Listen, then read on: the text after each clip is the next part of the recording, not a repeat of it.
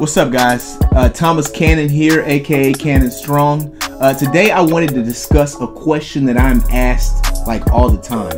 The question is Can I build muscle and burn fat at the same time?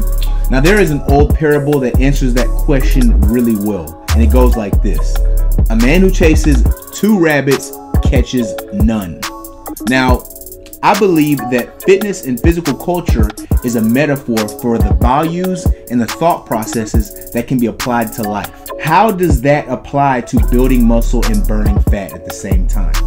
So, building muscle and burning fat are two goals that represent two rabbits.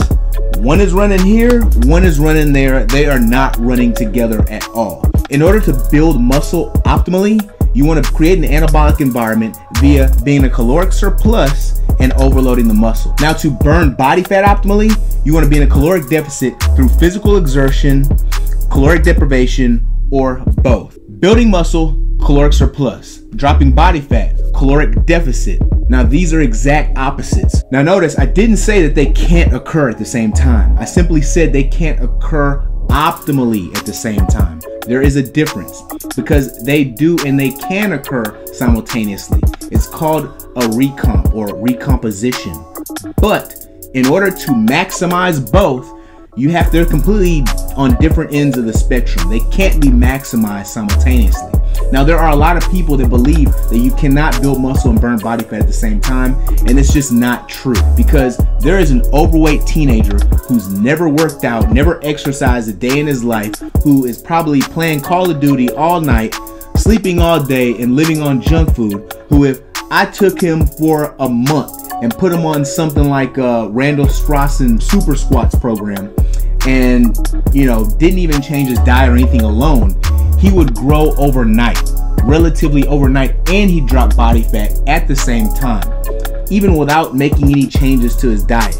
And that's because of the novelty of exposing the body to that stressor that it's never been exposed to. There's gonna be some changes that occur overnight, but eventually those newbie gains will exhaust themselves and a choice is gonna have to be made. It's either gonna be building muscle or burning fat because neither is going to come optimally. And this isn't just in relation to muscle building and fat loss, it can be applied to a lot of different goals. Some goals have synergy, like building strength, building size, they can have synergy. But other goals, like marathon running, is going to be completely on a different end of the spectrum from like Olympic lifting, which is very power and technical based. You know, their endurance and power are going to be on the other ends of each other's spectrum. They could do them both. I'm not saying they can't do them both, but one is going to suffer due to the other. And it's probably more likely power, which is going to suffer due to the all the exhaustive endurance work that they'd have to do in order to maximize their capacity at marathon running. Bottom line, think about what's really important to you. Number two, evaluate what your program looks like. Three, ask yourself is what I'm doing congruent with ultimately what I'm trying to accomplish? Am I trying to do too much? Am I trying to maximize too much?